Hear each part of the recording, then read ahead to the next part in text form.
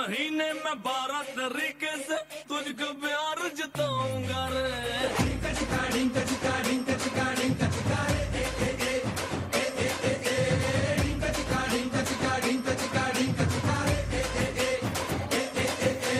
बारह मिनट भी लगता है अब ना तेरे बिन रह पाऊँगा रे।